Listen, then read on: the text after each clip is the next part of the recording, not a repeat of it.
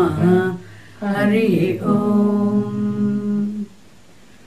ॐ सदाशिवसमारम्भाम्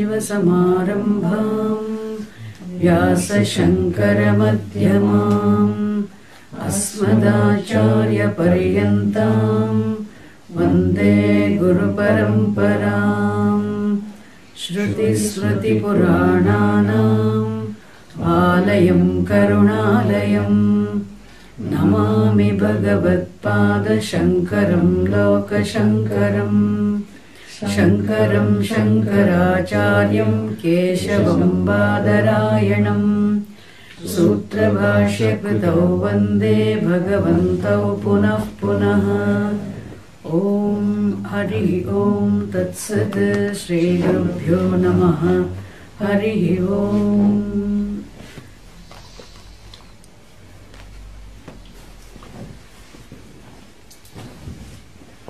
करोति वाचालं पङ्गुं लङ्घयते गिरिं। यत्कृपातमहं वन्दे परमानन्दमाधवम्। ॐ श्रीपरमात्मने नमः।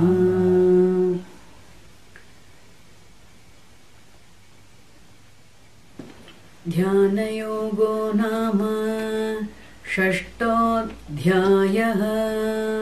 ध्यानयोगो नाम षष्ठोऽध्यायः। श्रीभगवानुवाच। श्रीभगवानुवाच। अनाश्रितः कर्मफलम्। अनाश्रितः कर्मफलम् कार्यं कर्म करोति यः। कार्यं कर्म करोति यः। स सन्न्यासी च योगी च। स सन्न्यासी च योगी च। न निरग्निर्न चाक्रियः। न निरग्निर्न चाक्रियः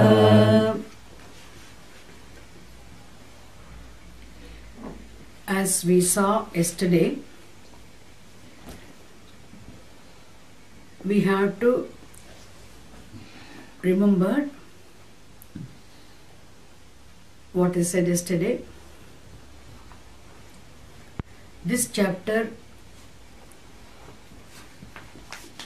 even though presents six topics, the five main topics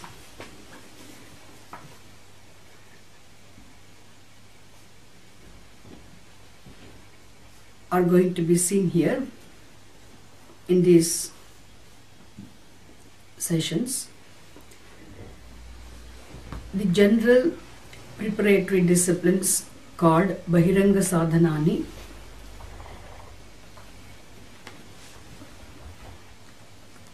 then Antaranga Sadhanani we say are Visesha Sadhanani the specific disciplines to be followed observed before the meditation. Then the nature of meditation.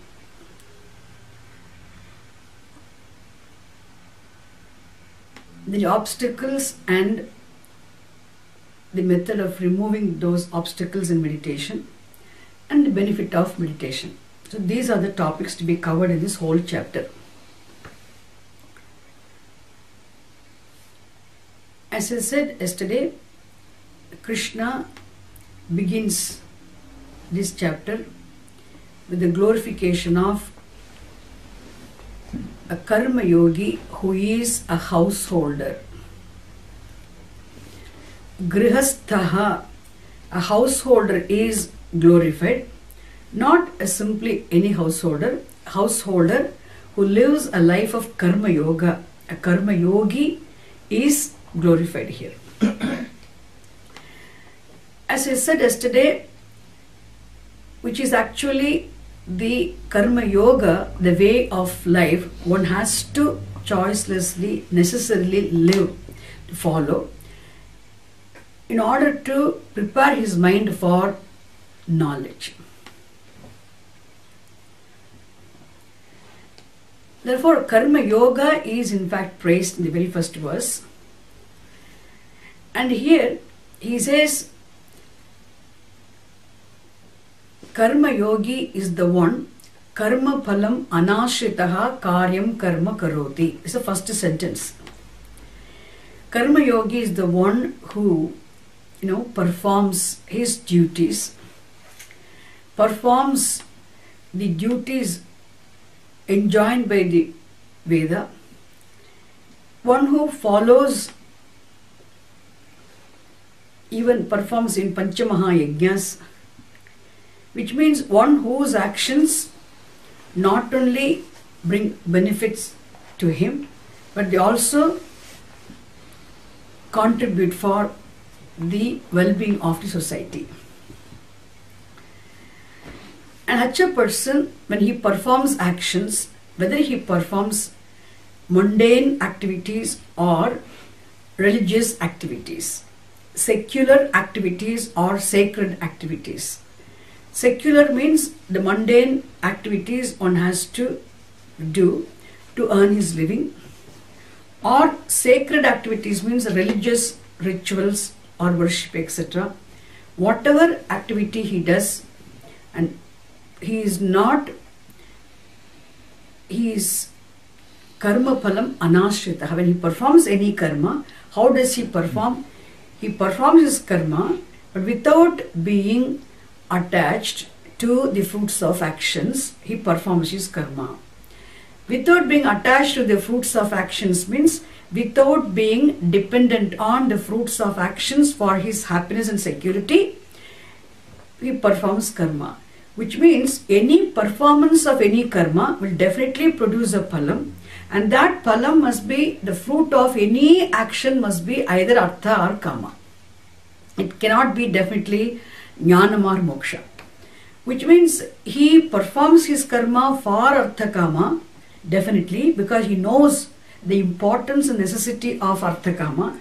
He knows the value of money. He knows the value of he values even the enjoyment of pleasures. He wants them. He for them he may perform, but still they are not his priority. Which means without having any concern for the fruits of actions, without being attached to the fruits of actions, without being dependent on the fruits of actions for his security and happiness, he performs his karma.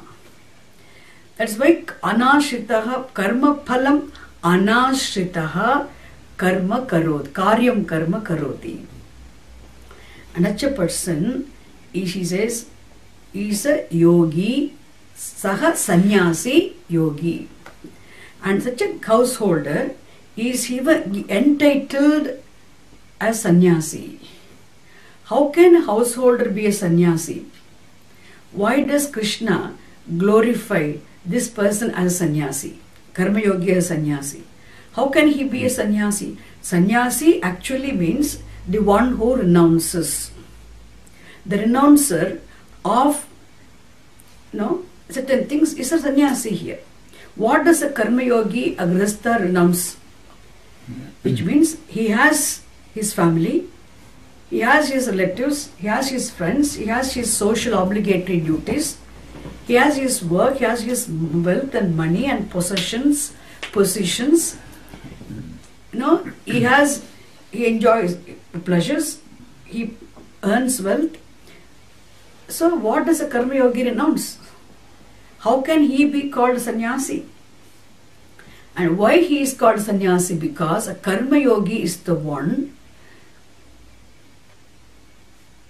no, he renounces the obsession with you know obsession with future he he he con- he renounces the worrying about future. He renounces the concern for future.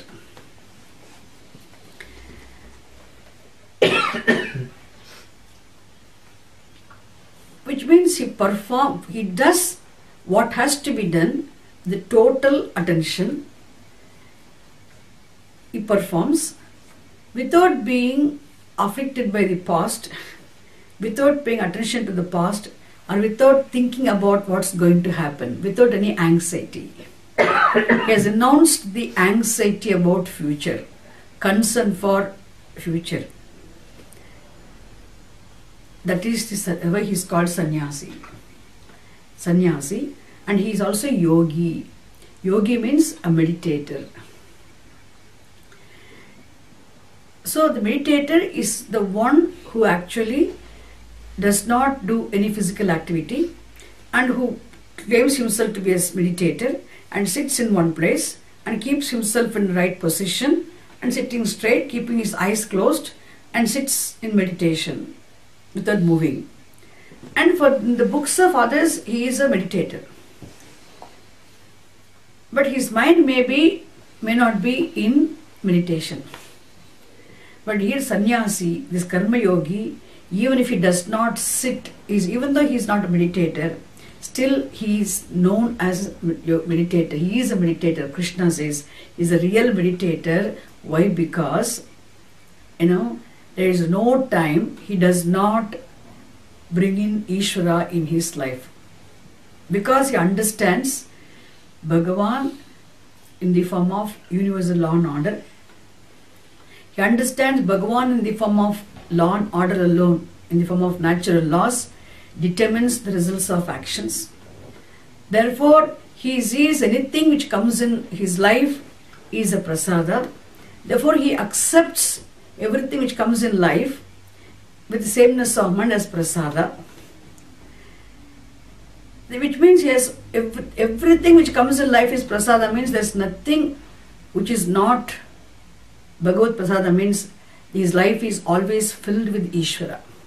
When he performs his actions also, because his, his, his actions are governed by his knowledge of right and wrong, not governed by his knowledge, no, his, his own likes and dislikes, which means he, he performs with an act of offering all his actions to Bhagavan.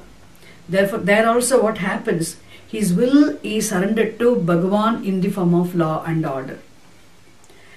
Because in performing actions, a karma yogi's will is surrendered to Bhagavan in the form of law and order. In receiving, the, in accepting situations, he sees everything as prasada. No, there is always he, he's always conscious of what he's doing, how he is doing. Therefore, he is as good as a meditator, which means he's a very, very focused person. He does not do anything mechanically. When, some, when a person is doing his things with a focused attention, it is meditation. Therefore, a karma yogi, even though he is not a so-called meditator, sitting in meditate, meditation posture and practices meditation, still a karma yogi is a meditator. Having said that, and he says, na niragnihi. The word niragnihi implies a conventional sannyasi. A sannyasi who has taken to a life of sannyasa, wearing saffron robes, you know, claiming himself to be a sannyasi, a conventional sannyasi is not a real sannyasi. Karma yogi is a real sannyasi. Now also next word he says, akriyaha na niragnihi. The word niragnihi implies a sannyasi and akriyaha implies the meditator yogi. So the, the, actually the meditator is not a real meditator. A sannyasi is not a real sannyasi. But the karma yogi is a real sannyasi, a real meditator. And akri, why? Because akriyaha means one who has given up the activities. But what does he do? He is he he's no, he's practicing meditation. He's given to the life of practicing meditation. He's sitting in meditation. But even though he's sitting in meditation, if mind is not in meditation, then he's not, that is not, medita- he's not a meditator. Therefore, akriyaha, nacha akriya means the, the so-called meditator is not real meditator. The conventional sannyasi who is a sannyasi is not real sannyasi. As a karma yogi is a sannyasi. In this context, I want to tell you one thing. Adi Shankar Bhagavad when he writes his commentary on this verse, what he wants to say, in this verse, it looks as though Krishna is, you know, really re- Krishna glorifies Karma Yogi, that's okay, fine. But Krishna, it seems, condemns or criticizes a sannyasi. But actually, Shankaracharya is always, he glorifies sannyasa. He, he's, he, always recommends sannyasa. Sa- Sa- Shankaracharya personally, all everywhere he highly praises sannyasa because sannyasa means that the committing oneself total to the pursuit of knowledge alone will bless one with moksha. He, he always he's a great supporter, encourager, you know, the praiser of sannyasa. But when he little feels concerned, oh Krishna criticizes in this word a sannyasi and he glorifies a karma yogi. So he writes in his commentary saying, even though Krishna criticizes a sannyasi, it is not real criticism of a sannyasi. Sometimes in the, the, the Shastra teaching, in order to glorify something, mm-hmm. Now something else is criticized. So criticizing one thing, what is criticized is not the important thing here. What is glorified is very important. In order to highlight the importance of something, in order to make something, you know, more important in a given context, so to glorify that, something else is criticized. So here uh, Shankara Bha- Bhagavad writes in his commentary, Krishna's criticism of sannyasa is not actually real criticism of a sannyasa. The criticism is only for the sake of highlighting the importance, only for the sake of glorifying karma yoga. Krishna criticizes. And such teaching is called no, the nahi, the method of teaching. You know, praising something through the criticism of something else is called nahi ninda nyayaha. Which means criticism of sanyasam is not for criticizing sanyasa but for glorifying karma yoga. Nahi ninda nyayaha children. Okay.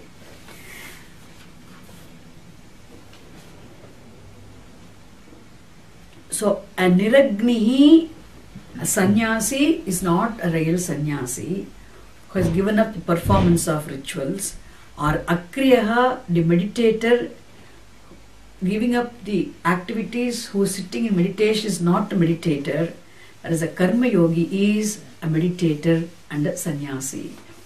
Okay, that's the one thing. We'll go to the next verse.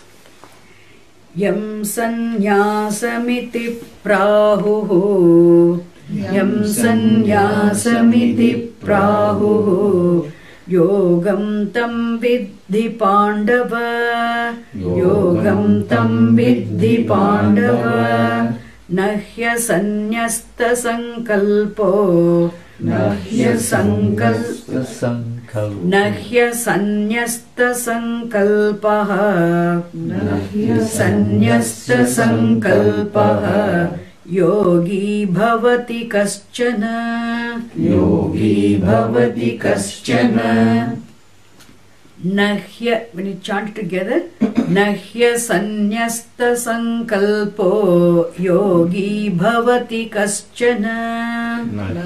सन्यस्त संकल्पो योगी भवति कश्चन। He continues his the glorification karma yoga in this also. He Krishna says, He Pandava यम संन्यासम इति प्राहुः तम योगम विद्धि which means what is said here in this context as sannyasa is not actually the sannyasa which is usually understood as sannyasa. What is sannyasa? Sannyasa means the person who has lived through all these three ashramas, gone through the ashramas, and then he, um, removes his sacred thread, thread. I mean, by, by performing rituals, and he he withdraws himself from the performance of rituals, and he takes to a life of sannyasa. That is conventional sannyasa. Conventional asannyasi, one who has properly gone through the ritual of taking to the life of sannyasa is called sannyasi. Krishna says, I do not mean such a con- conventional sannyasi as sannyasi here. I do not mean that sannyasa. Sannyasa, what I mean here as sannyasa is actually karma yoga only. Yam sannyasam iti proktam Yogam tam vidhi pandava. Hey Arjuna, please understand karma yoga is sannyasa. What I mean as sannyasa is only karma yoga. Karma yoga. And having said that, to make it very clear, what is karma yoga is sannyasa means it is really glorified again, isn't it? Living a life of karma yoga is also sannyasa. It's not actual conventional sannyasa, but still you can give it the credit of what now? It is as great as sannyasa only. Which means, what does a karma yogi renounce? In karma yoga, what should be renounced? Renunciation of something makes the, isn't it? A karma, a karma yoga.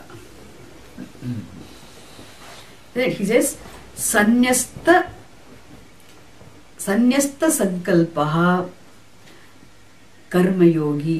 definition of a karmayogi no संयस्त sankalpa is a karmayogi the one who has announced the sankalpa is a karmayogi which means असन्यस्त sankalpa means the one who has not renounced his Sankalpa is not a karma yogi. Which means one cannot call oneself a karma yogi. For one to become a karma yogi, one must have renounced one's sankalpa. If you if one has to be a karma yogi means one must renounce what? Sankalpaha. And what does the word sankalpaha mean here? Sankalpaha literally means planning. Even when you perform a puja, before the start, you start the puja, you know, the, no, you, you, you do the, no, you call sankalpaha, we are making sankalpaha. What is the purpose of performing a puja is also said in the sankalpa. Ishvara prasada siddhyartam. In order to invoke the grace of Ishvara, his puja is being performed. Or Abhishta Siddhyartham, in order to accomplish the desired ends. By invoking the grace of the Lord, this puja is performed. We say also Sankalpa, but here Krishna says, in this context, the word Sankalpaha means obsession with future. No? and then cons obsession with here what here concern for future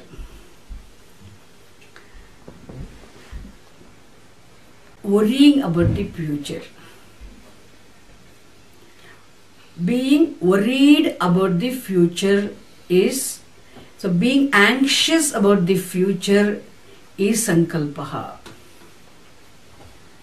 so, what is the main important lesson here is a sanya karma yogi does not worry about the future, does not all the time, he does not, you know, continuously, constantly, all the time, he will not be thinking of the future.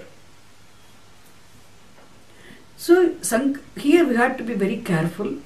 Does Krishna mean planning or does he mean worrying? The Karma Yogi is, is not the one who has not does not plan his work. Definitely Karma Yogi plans out his work and he works out his plan. Nothing wrong, but he does not worry. Once he has planned out his work and he works out his plan, but he does not worry about the future.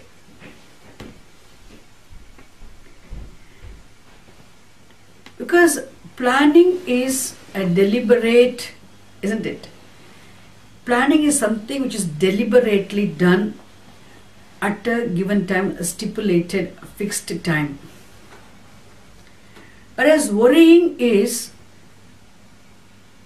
is not a worrying is not a deliberate action. It is a mechanical reaction and it happens anytime.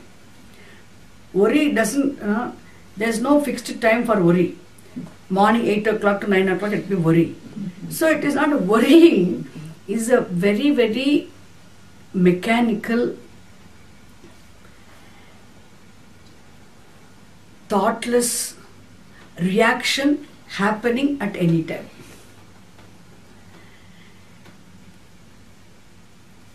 And here Karma Yogi is the one who is free from worrying about the future. He does not worry at all. He does not worry about what is going to be the result of an action. He performs, he plans out the work, he works out, no, he works out the plan, he will performing, he is not anxious about the result of action. Uh, uh, worry about the future. Why? Because he has what attitude? Prasada buddhi. Very, if, if there is no prasada buddhi, you will be worried.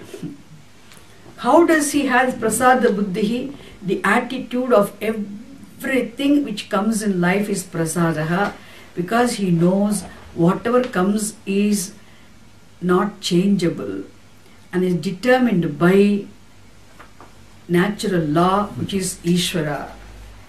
The understanding of this is this helps him not to worry about the future. Eh, therefore, he is, and second thing, he knows any pain and any pleasure is what comes and goes. Nothing is permanent. And what is permanent cannot be prevented from attaining. Nobody can prevent anybody from attaining the permanent happiness, the moksha, because it's one's own nature. And nobody is responsible for whatever I go through in my life. I perform action and whatever karma phalam comes, that is determined by law in conformity with my own past karma, means, and they all prasada. If therefore he is not anxious about the future. The, whether the, the result which comes as a res, result of action is a failure or success, desirable or undesirable. No, favorable or unfavorable. Loss or gain doesn't matter because even the failure also is not real failure for a karma yogi because he's he performs all his actions ultimately for preparing his mind for jnanam. See, antakarana shuddhi, he is focusing on antakarana shuddhi. He performs his duties for the fruits of actions definitely, but still he is not what he is ready to prepare to accept anything. And second thing, that helps him what? Also contributes for his mental preparation but he's constantly karma yogi is in the process of growing no he's taking his inner growth is taken care of therefore there's no failure that is why karma yogi is the one who is sanyasta sankalpaha if you have not stopped worrying about the future make sure you are not a karma yogi. If you are worrying about the there's a very strong very very clear teaching. Oh i'm a karma yogi. How you are a karma yogi? If you're worrying about the future means you where is this where is the surrender? And where is the where have you accepted everything as prasada so the anxious minded cannot call himself a karma yogi. One who has worry about the future cannot call himself a karma yogi. So asanyasta sankalpaha the one who has not renounced one who has not one whose mind is not free from anxiety about the future is not a karma yogi asanyasta sankalpaha yogi na bhavati kaschana definitely such a person cannot be a karma yogi who is a karma yogi sanyasta sankalpaha you can learn this. sanyasta sankalpaha karma yogi asanyasta sankalpaha na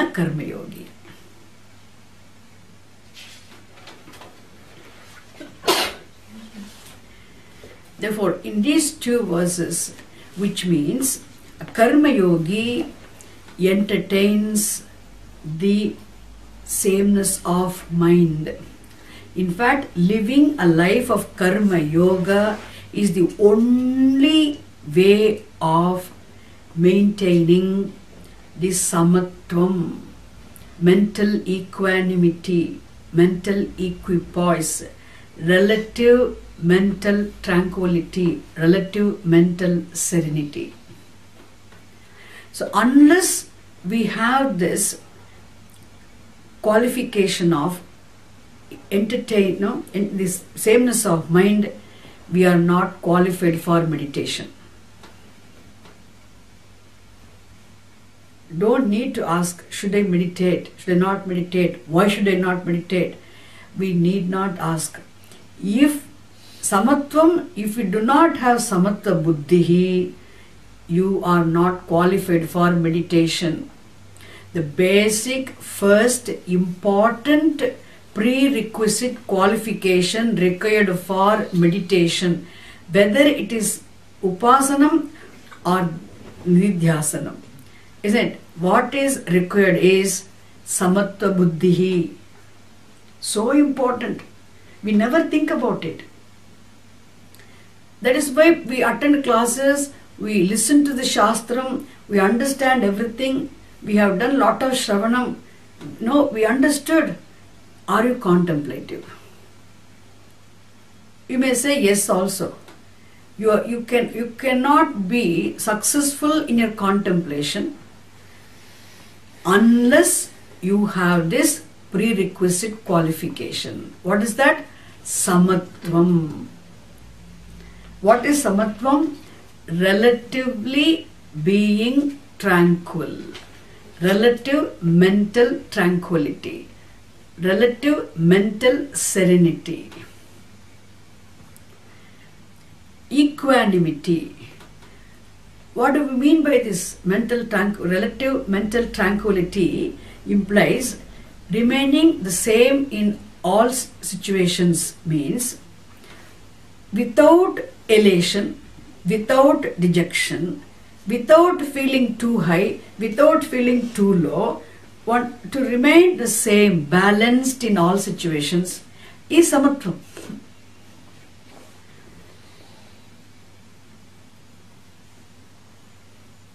How to have that samatvam? Live a life of karma yoga. So deliberate, isn't it? That's why it's a way of life. Only by living a life of karma yoga, one can you know, learn to maintain this samatva buddhi.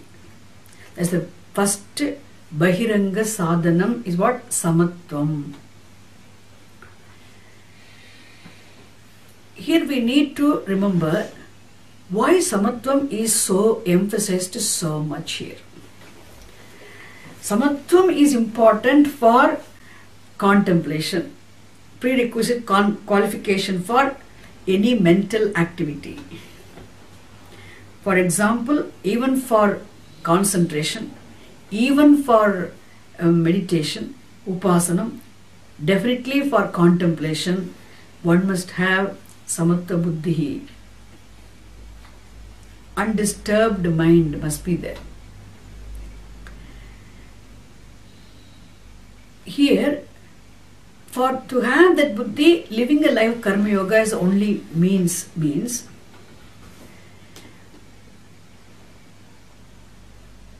why we have this disturbances. See, in day to day life, when we are transacting the world with the people, definitely we will go through, we do have to go through experiences of, you know, unpleasant situations. Definitely, there will be lot of emotional upheavals, emotional turbulence. There'll be anger, there'll be hatred, there'll be, you know, confusions. Lot of uh, upheavals will be there. And when we go through those experiences during our transactions, all those experiences of emotions, such as hatred, anger, etc., even irritation, etc., they all really go to our subconscious. In fact, they leave behind the experience of emotions, the, eh, the, the, the emotional turbulence which we have during the transactions, they leave behind what? The mental samskar, im- impressions, vasanas. And they, they all remain they and they, they remain in our subconscious they get bottled in our subconscious and what happens when we are mentally very very busy engaged occupied highly preoccupied doing something or the other those emotions remain dormant and latent they will not disturb you See, already during your previous transactions, anger would have gone, hatred would have gone, jealousy would have gone. I'm not saying jealousy particularly, anything. All these might have gone inside. They're all in your subconscious. And because you're very busy, preoccupied with so many things, they remain dormant, latent. But what happens whenever your mind is free from preoccupation, and the mind is not really busy, engaged, little free, which, which mind? Conscious mind. Conscious mind is preoccupied. The conscious mind is not preoccupied. What is sub, no, in subconscious surfaces? Then it surfaces means it comes and disturbs the mind. This is what happens.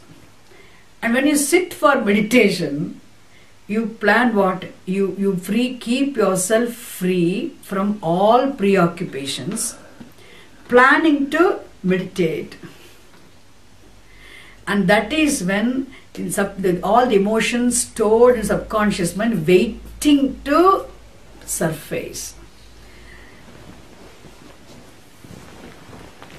Therefore, what happens? You can never be successful in your meditation.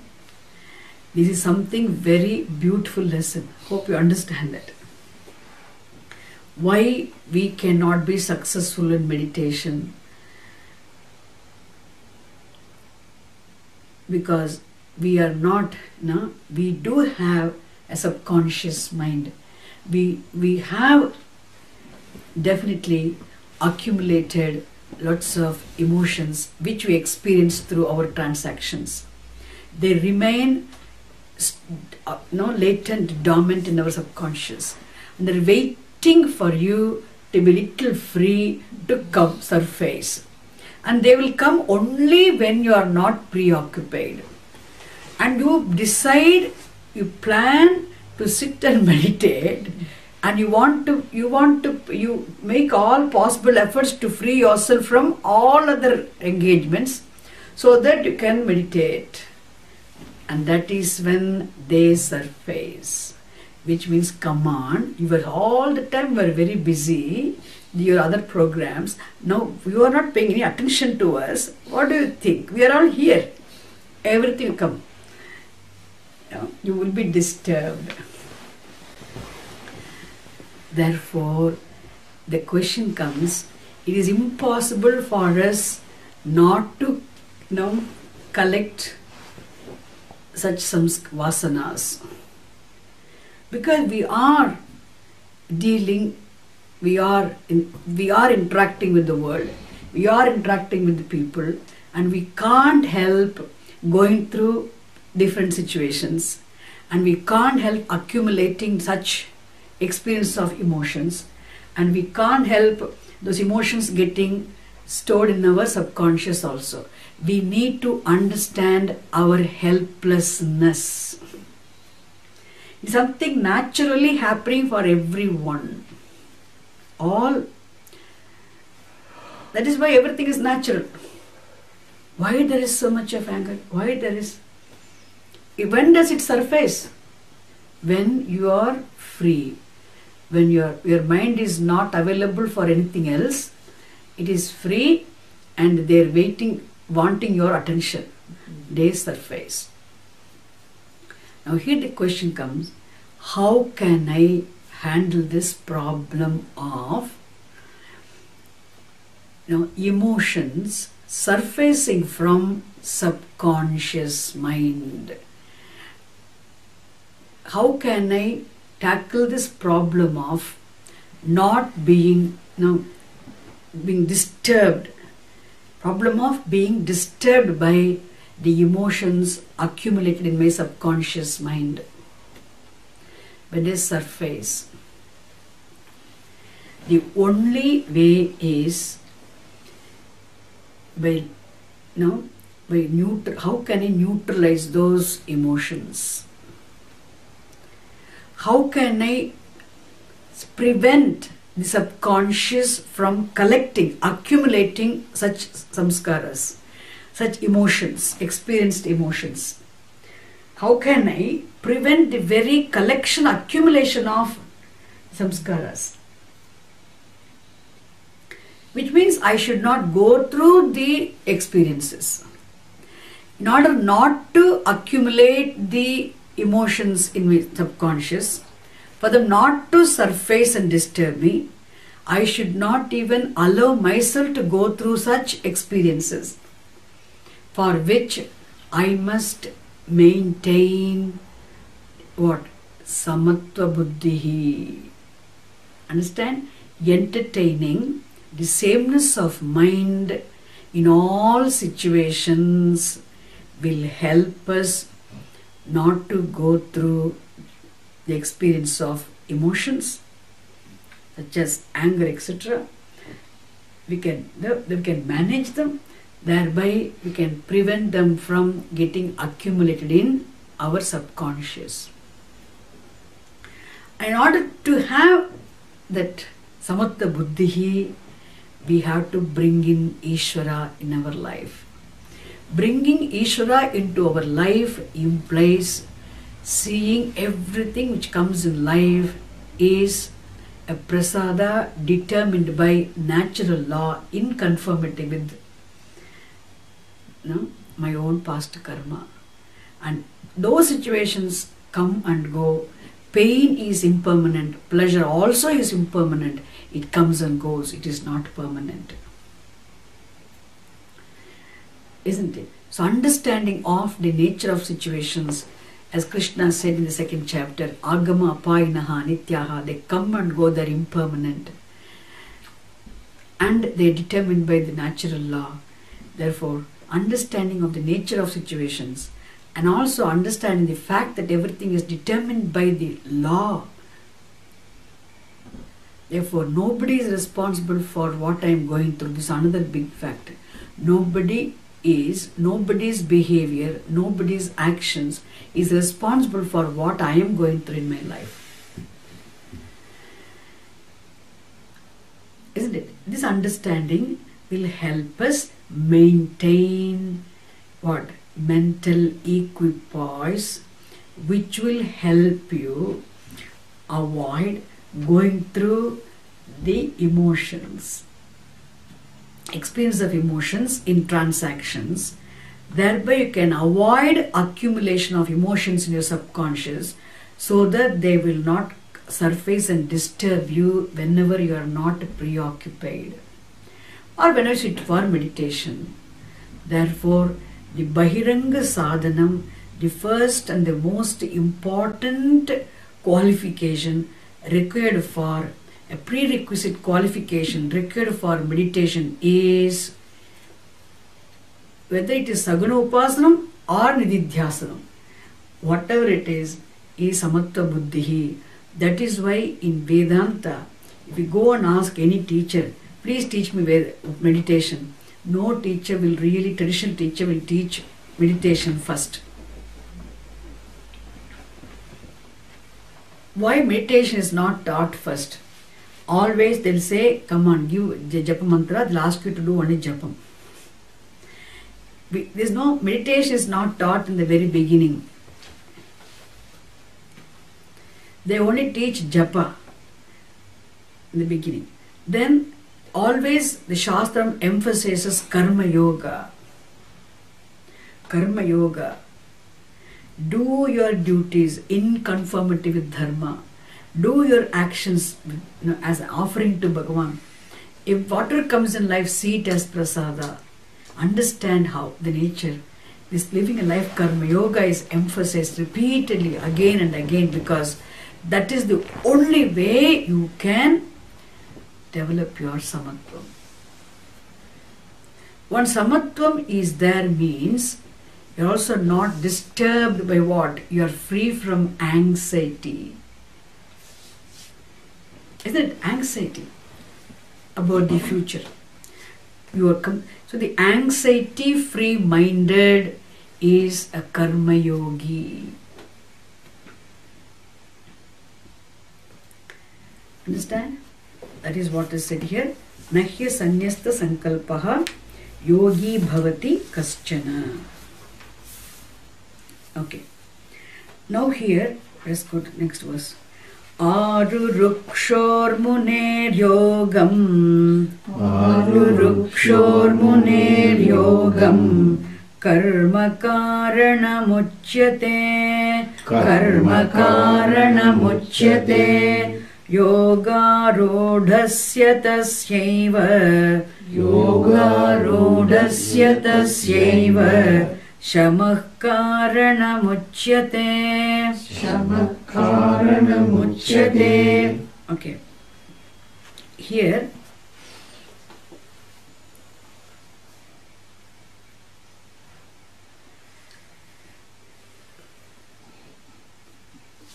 Karma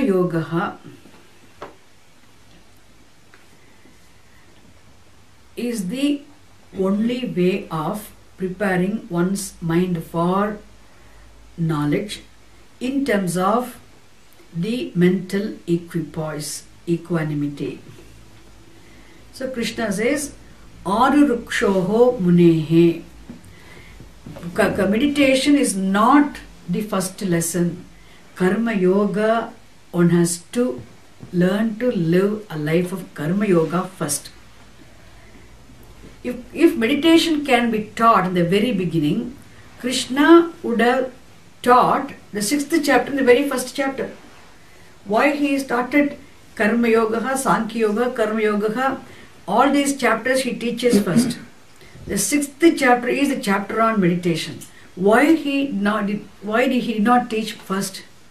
Because it is you first one has to become qualified for meditation. First Karma Yoga. Therefore he says, Arurukshoho Munehe, one who really wants to prepare his mind for knowledge. One who wants to entertain this, you know, learn le- one who wants to learn this art of entertaining the equanimity of the mind, such a person arurukshoho munehe karma karanam uchyate. For him, karma yoga is living a life karma yoga is prescribed as the means.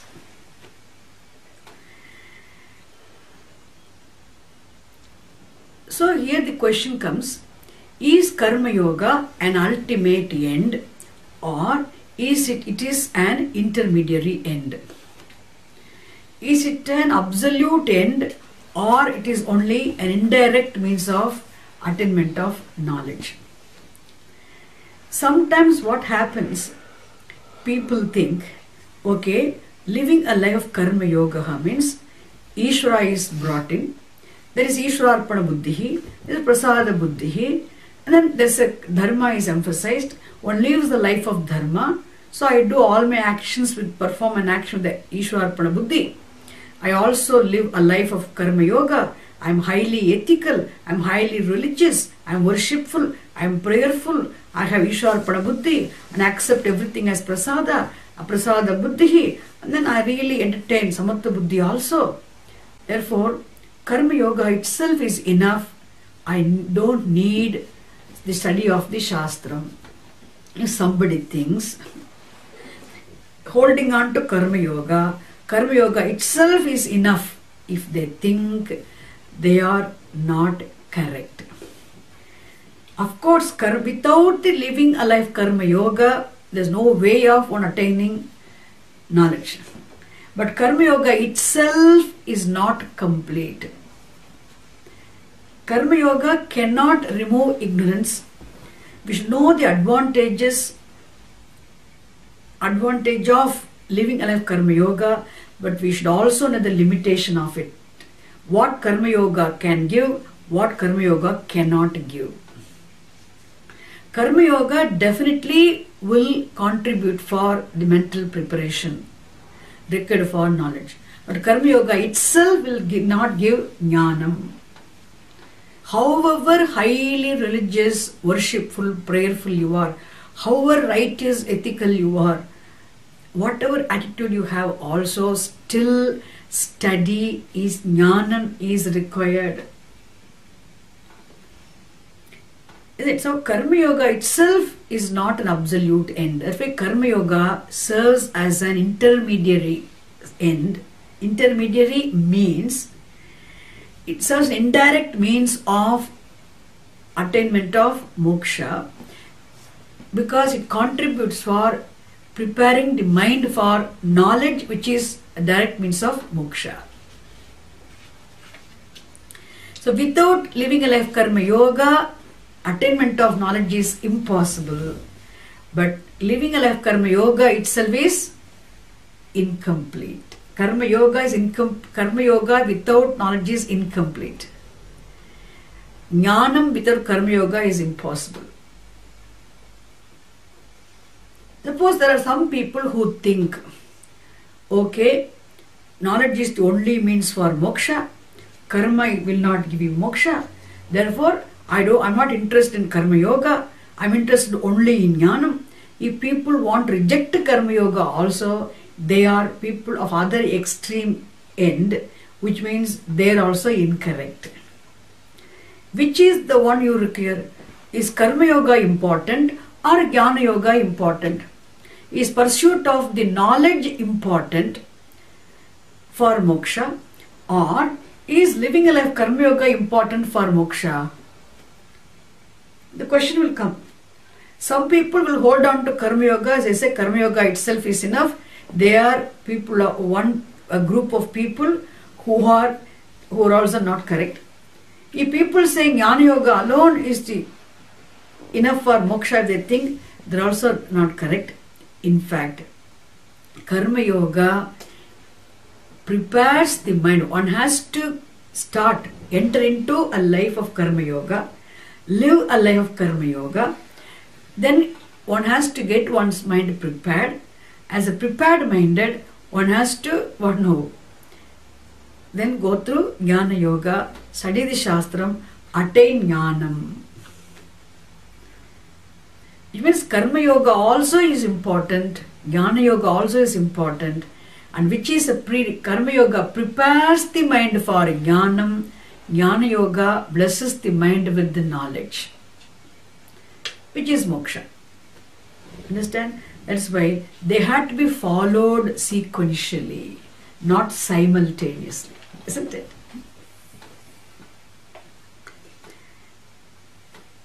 There is not two different paths. You can either go through Karma Yoga or Jnana Yoga. Which way should I go to? There's no two ways. There are two lifestyles. No, to be followed, isn't it? One for preparing the mind and other for the one who has pre- prepared his mind already. That's what is, this verse makes it very clear. In order to arurukshuhu means one who has yet to prepare his mind for knowledge is arurukshuhu. Arurukshoho munehe karma karanam uchyate. For the one who has yet to know, yet to learn this art of maintaining the mental equipoise, mental equanimity, one who has yet to learn to remain the same in all situations, for him living a life of karma yoga is prescribed as a means of preparation for jnana. And the one who has already living a life of karma yoga, one who has learned this art of maintaining his mental equanimity, one who can remain undisturbed in all situations, one who is free from concern for the future, you know, one who is one who which whose mind is free from anxiety about the future, does not worry about the future, you know, and one who remains the calm in all situations without being elated and dejected, you know, remaining balanced without reacting to situations and responding properly.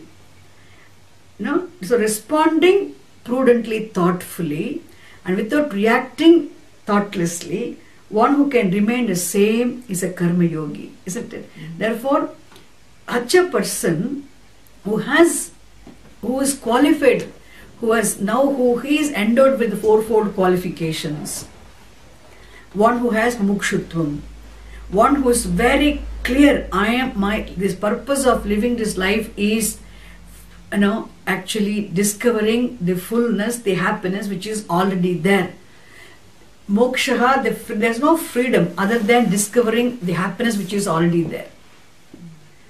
And as a human being, the human life is in fact, the human, for a human being, moksha is the choiceless end. It is something to be discovered. And to discover it, the truth has to be discovered. The truth has to be discovered as one's own self.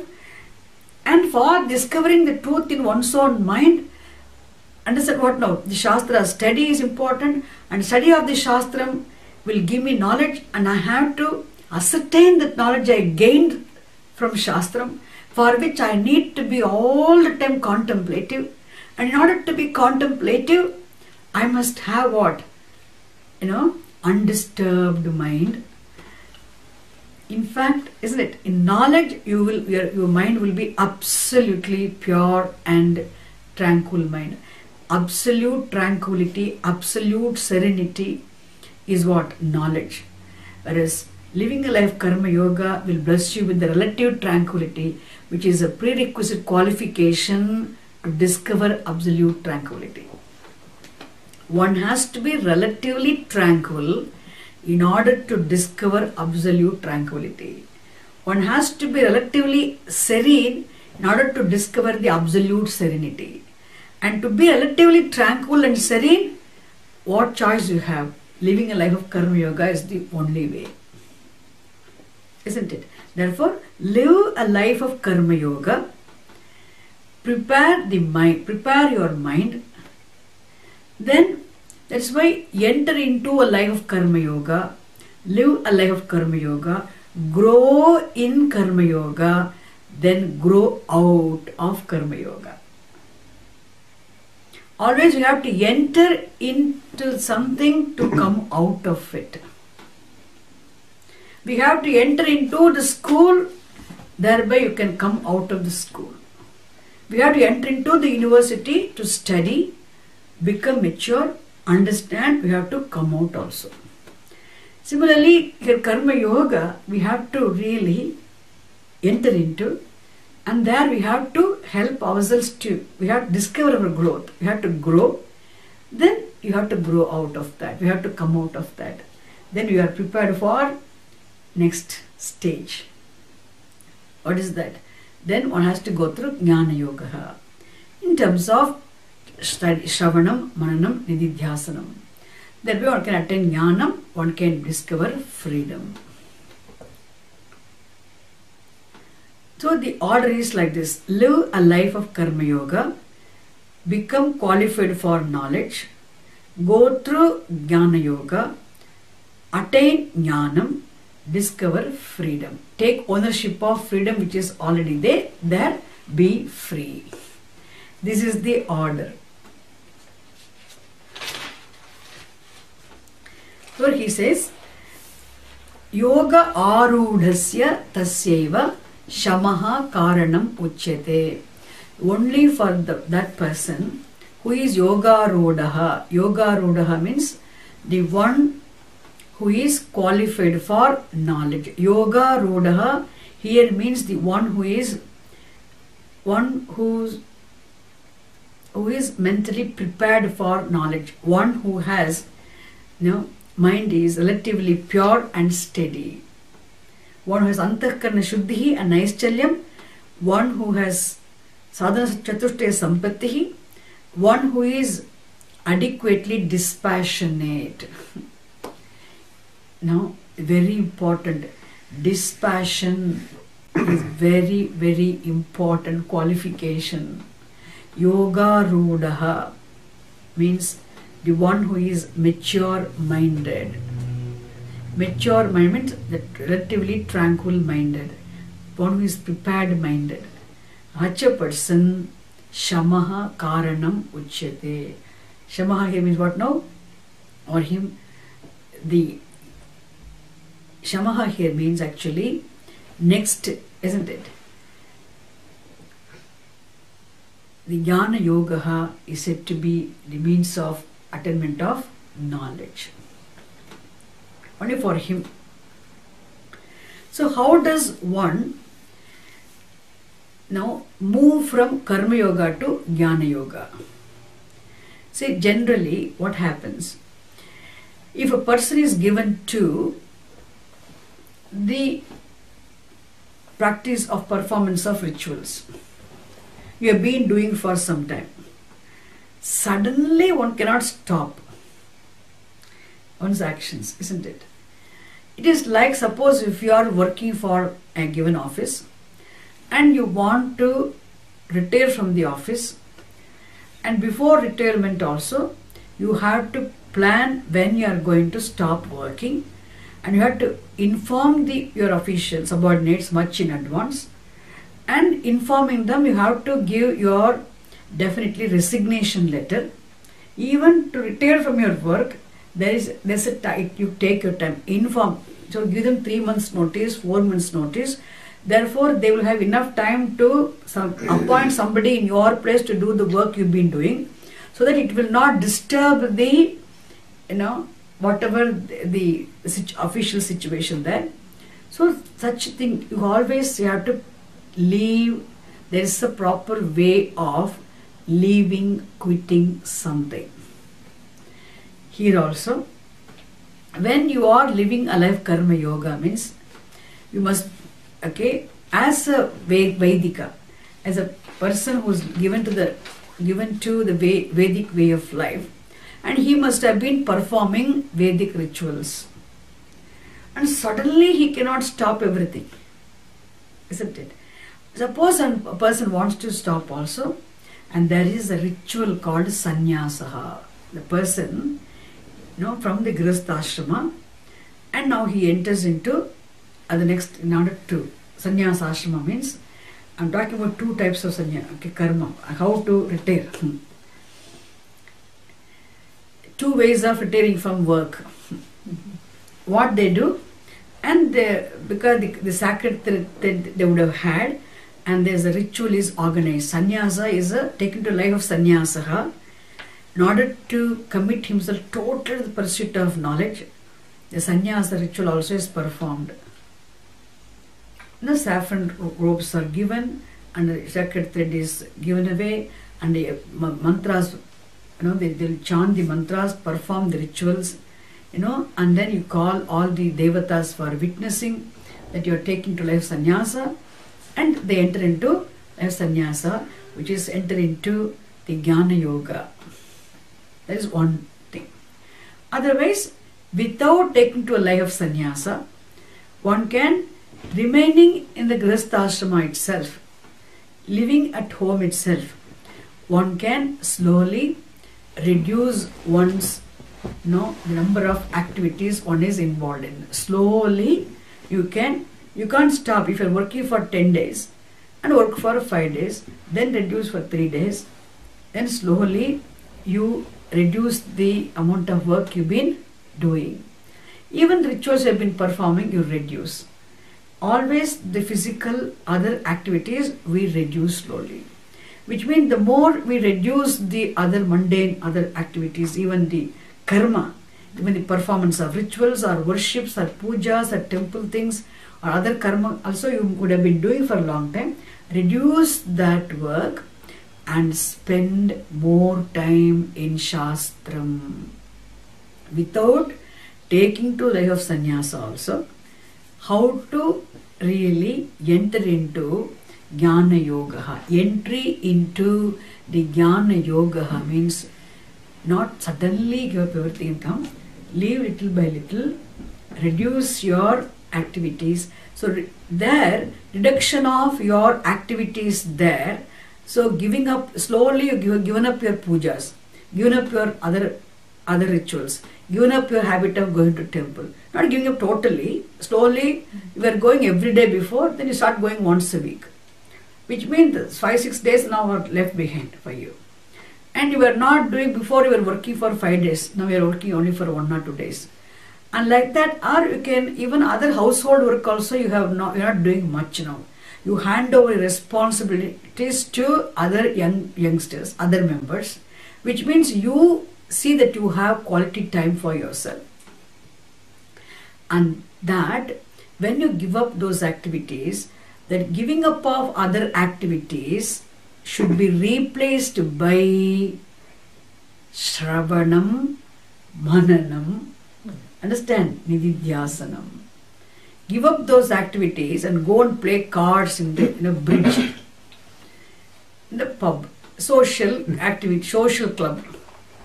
Go to the club and then, you know, what do you do? Play cards and now have some social gathering, attend some cultural activities. How do you now I'm retired from work. What are you doing? You know, we all gather. The Senior Citizens Association. Go and sit and chat and then have some fun and go arrange a van to go to Wales and come back and go here and one day go to Lake District. Have some fun and come back. What all the what people are doing and then they also they put it in the, the, the like a notice board activities of the Senior Citizens Association, big activities, achievements. One of the activities is visiting the Lake District and trip to Wales Temple. And these are the uh, programs. And then one the, the doctor, somebody came and gave a talk on this diabetes. Something like that. They say, this is all fine.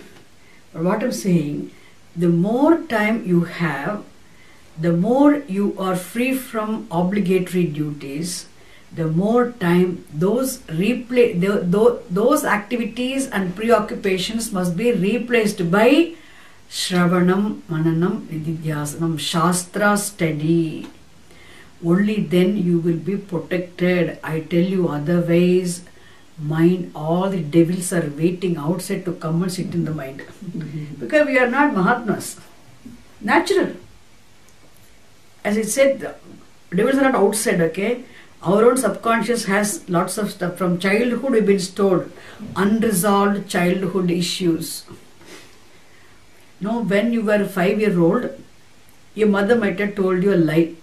And you were you were cry, very cranky. You want to go with her to shopping. And she didn't want to carry you. She told a lie that she wanted to go to the doctor. So she told a small lie and she escaped from you. She left you with your dad or grandparents and she went out to shopping. She came back with a lot of shopping.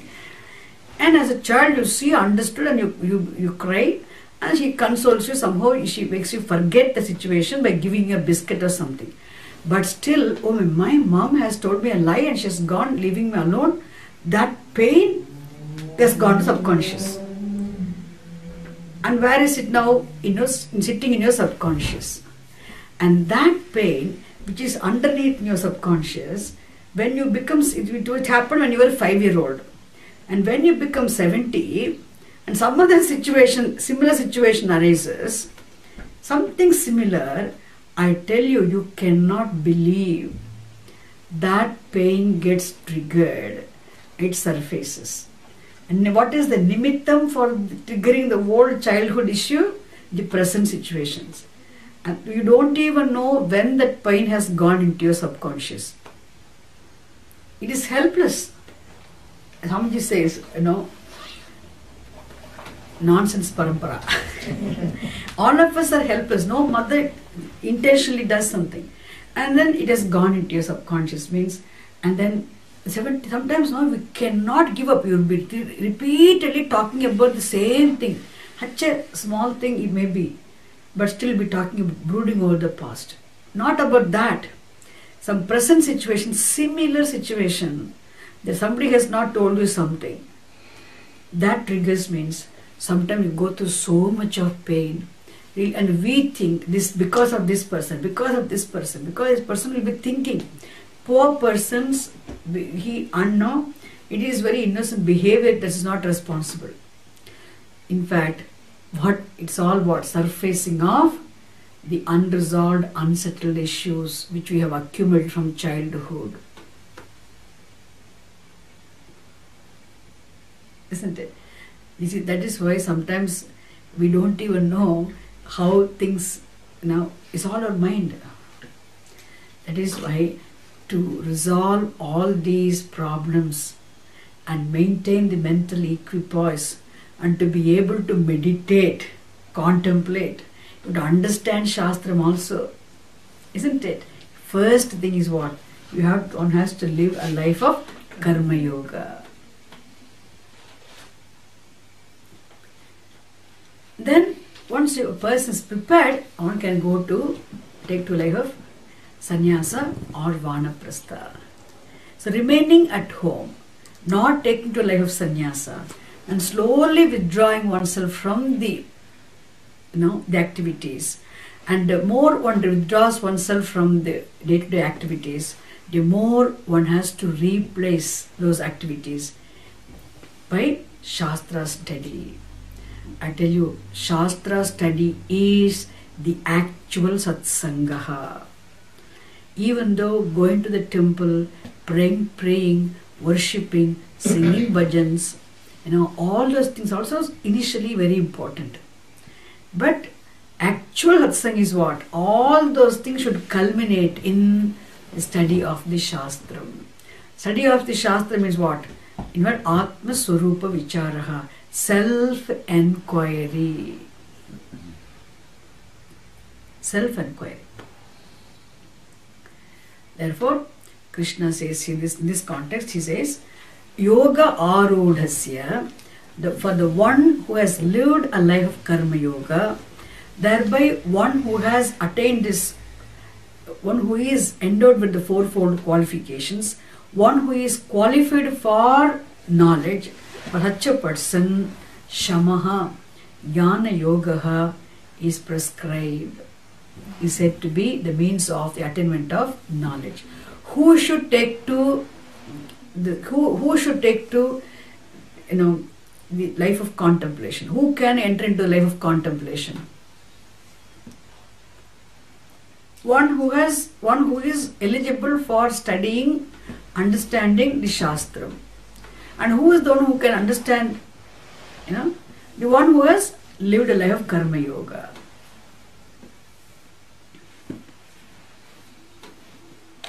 Isn't it? That is what is said in this verse.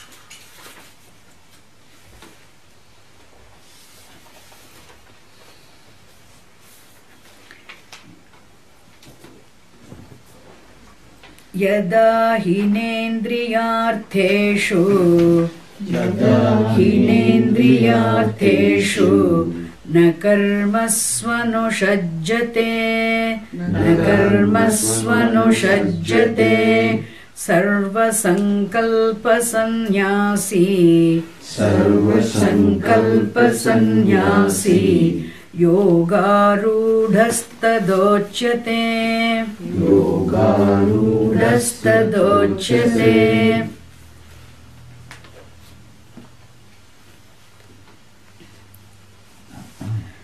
So here the question comes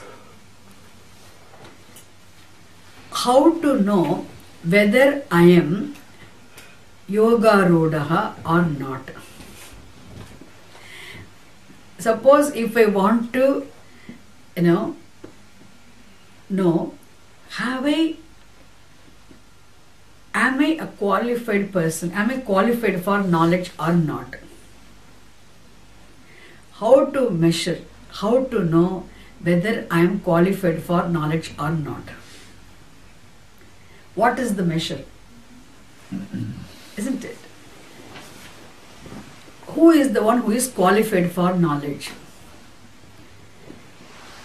Because how quickly people mature, who becomes qualified for knowledge? And people have take their own time to mature. The mature, emotional maturity of a person you know the time one takes to become emotionally mature isn't it differs person to person you can see some people are very mature when they are 25 also. Some people it takes some time for some people to become 50 some people even after 70 and 80 also they are not ready. Emotionally i'm talking about emotional maturity of a person. No it takes it differs that the time taken for one to become emotionally mature, the which is required for knowledge, isn't it? Differs person to person. Therefore, how can we say who is qualified for knowledge? Is it the age? Seeing the age, can we say this person is eligible for jnanam? Is it our age?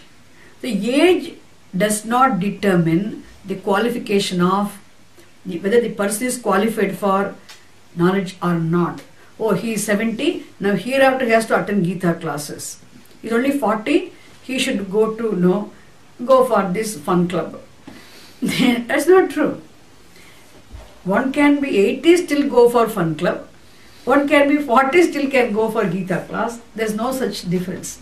Which means it is the emotional how mature the person is. Isn't it? That is depend on one's पूर्व जन्म संस्कार आलो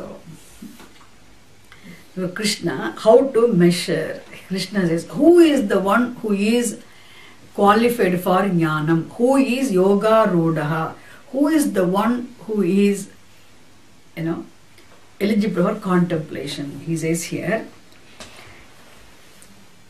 इंद्रिय अर्थेशु कर्मसु न अनुषज्यते Yada, when a person Indriya Artheshu, Indriya Artha means the sense pleasures, sense objects, sensory pleasures called Indriya Artha.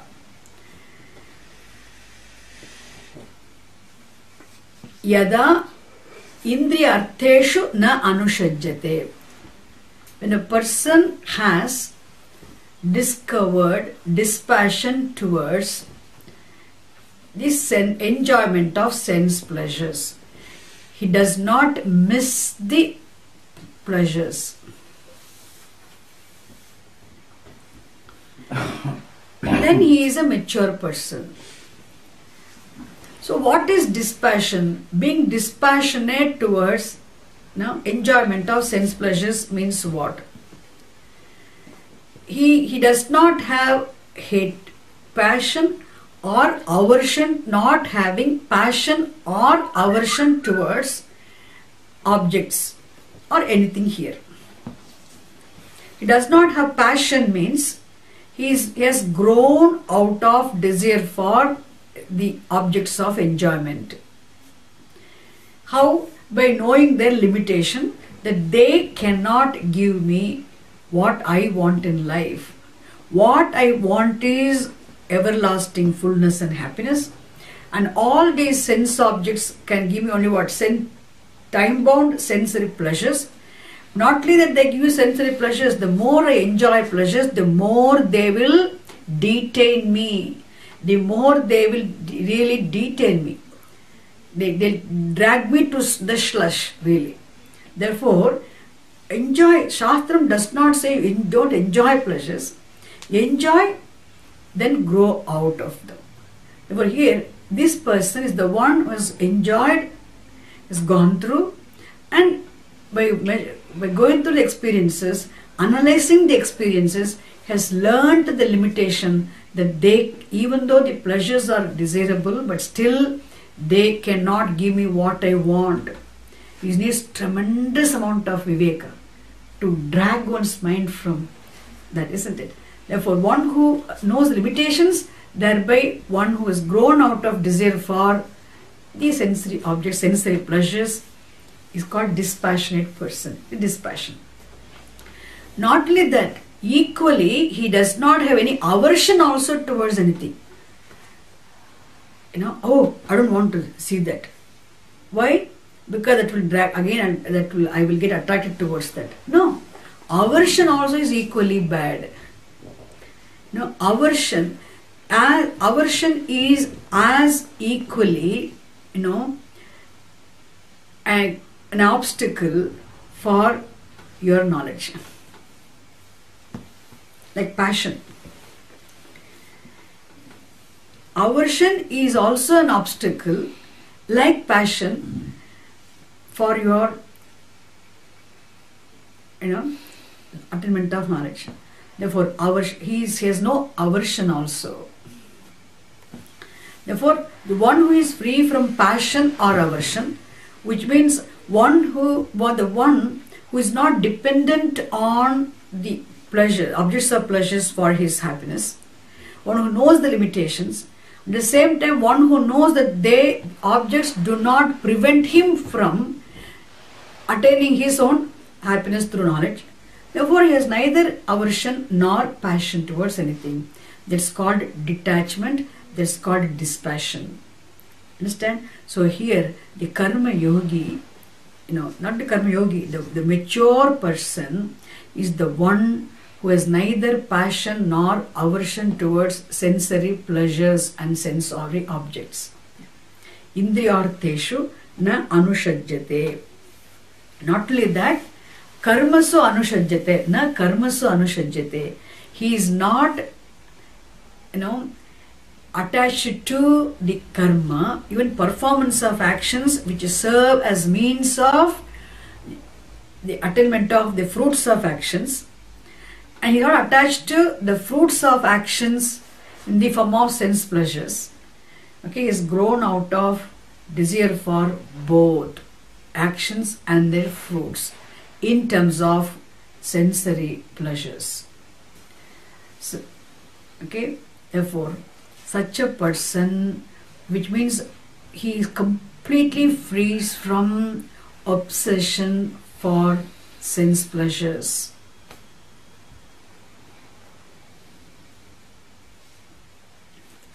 He is free from the craving for sense pleasures, which be- because is then the person is you can say yoga rodaha. He is emotionally mature person. So if if I'm not emotionally mature person, I don't need to feel bad or inferior about it of me. I have to make possible efforts to raise myself. So he says yoga arudhasya. So इंद्रियार्थेशु कर्मसु न अनुषज्यते and he is called what सर्व संकल्प सन्यासी सर्व संकल्प सन्यासी means सर्व संकल्प सन्यासी means he has no craving for the कर्म और for the fruits of karma there is no craving. Sarva sankalpa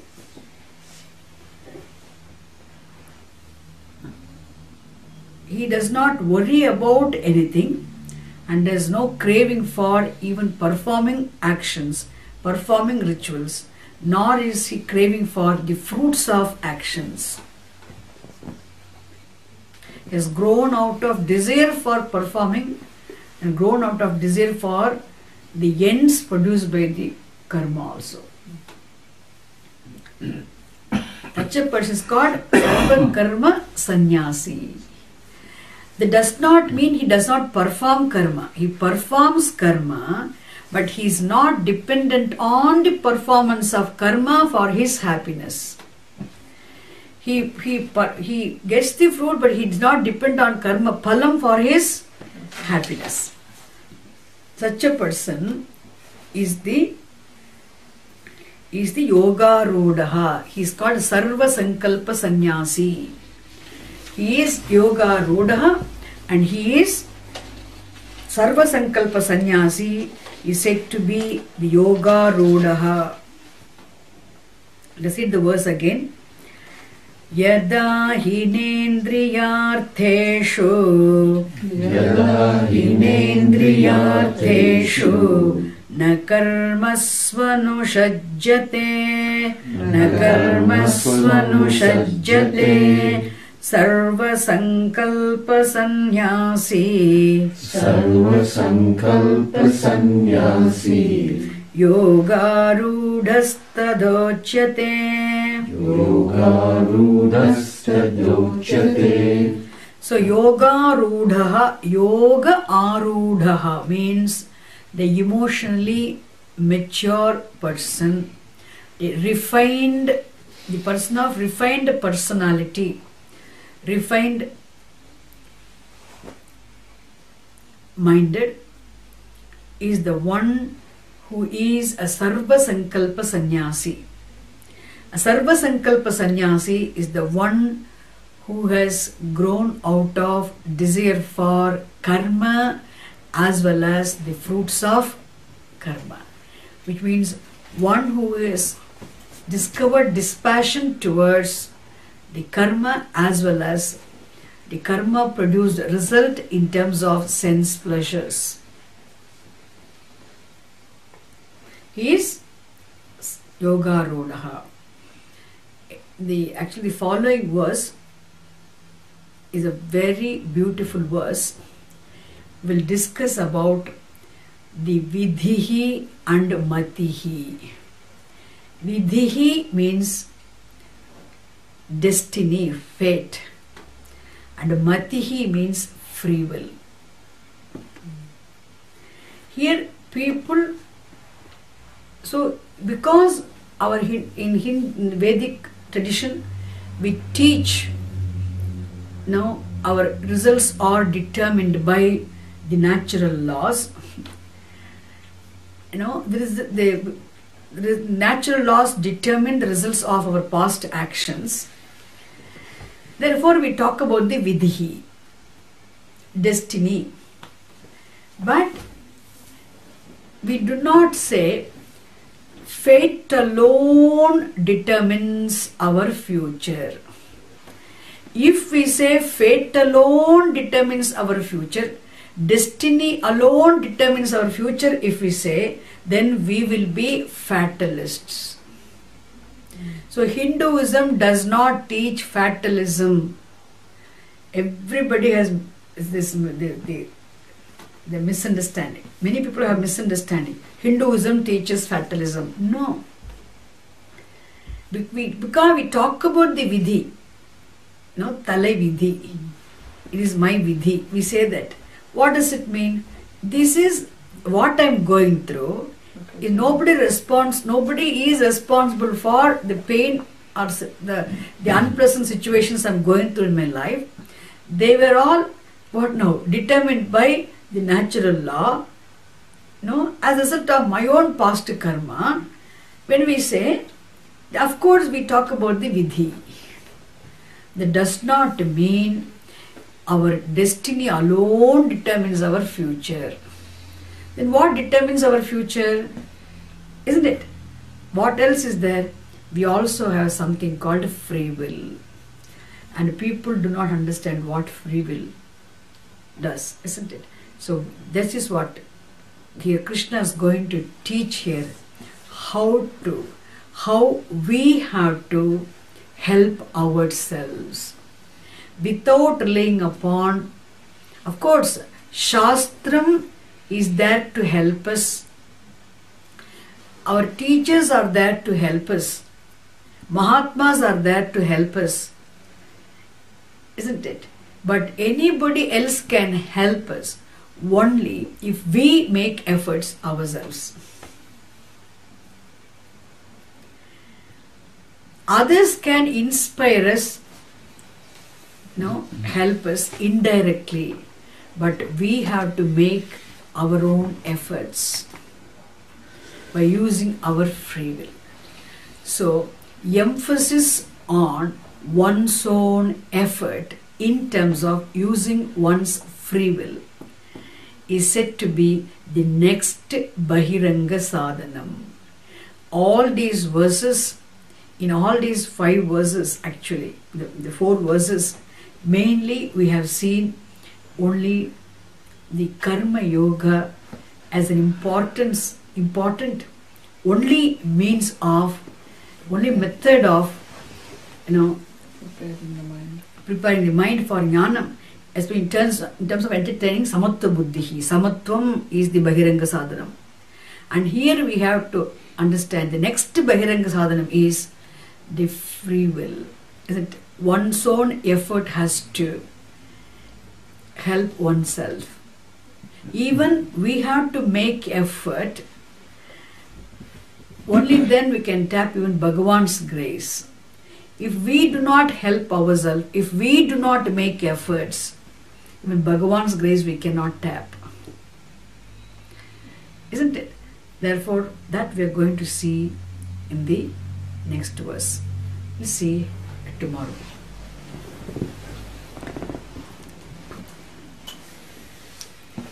Om Purnamadah Purnamidam Purnat Purnamudachyate पूर्णस्य पूर्णमादाय पूर्णमेवावशिष्यते। ॐ शान्ति शान्ति शान्तिः। हरिः ॐ तत्सत् श्रीगुरुभ्यो नमः। हरिः ॐ